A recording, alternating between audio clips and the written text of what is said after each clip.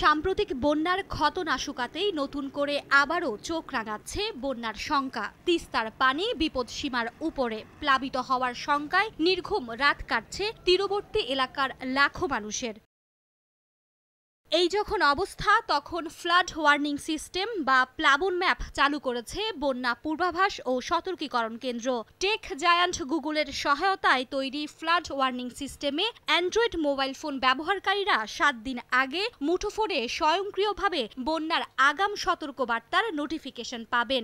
যে সমস্ত এলাকায় নদীর পানি বিপদসীমার কাছাকাছি কিংবা বিপদসীমা অতিক্রম করছে, আশপাশের কোন এলাকা এবং গুরুত্বপূর্ণ স্থাপনা প্লাবিত হচ্ছে কিংবা শঙ্কা আছে এই পর্যন্ত কতটুকু এলাকা প্লাবিত হয়েছে কিংবা সামনের সাত দিনে কতটুকু এলাকা প্লাবিত হবার শঙ্কা রয়েছে, এর সবই মুঠোফোনের সেই বার্তা ও ম্যাপে স্পষ্ট দেখা যাবে। যেই এলাকাতে আমাদের পূর্বাভাস স্টেশন রয়েছে বা আর্লি ওয়ার্নিং স্টেশন রয়েছে, সেইখানে স্থায়ীভাবে বসবাসকারী মানুষ যারা আছেন, তারা তাদের হাতে যদি একটি অ্যান্ড্রয়েড মোবাইল ফোন থাকে, সেই অ্যান্ড্রয়েড মোবাইল ফোন থেকে তারা গুগলের সহায়তায় অটোমেটিকভাবে একটি আর্লি ওয়ার্নিং বিষয়ক পুশ নোটিফিকেশন পাবেন। পানি বিপদসীমার কাছাকাছি থাকে অথবা বিপদসীমা অতিক্রম করে যদি ওই এলাকা বন্যা কবলিত করে এবং এলাকার গুরুত্বপূর্ণ স্থাপনা যেমন বাড়ি, ঘর কমিউনিটি ক্লিনিক মসজিদ, মাদ্রাসা এগুলো যদি প্লাবিত হয় বা প্লাবিত হওয়ার আশঙ্কা থাকে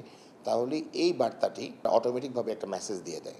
বাংলা ও ইংরেজি ভাষায় দিনে দুইবার করে মুঠোফোনের বার্তা পৌঁছে যাবে। প্রথম পর্যায়ে দেশের পঞ্চান্নটি জেলার দশ কোটি মানুষকে গুগল ফ্ল্যাট ওয়ার্নিং সিস্টেমের আওতায় আনা হয়েছে। দশ কোটি মানুষের